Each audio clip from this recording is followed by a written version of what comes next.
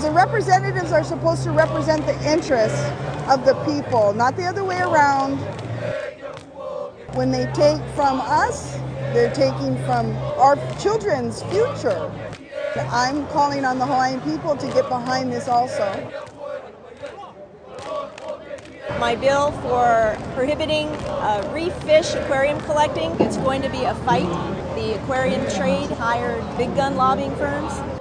Our reefs are our public trust.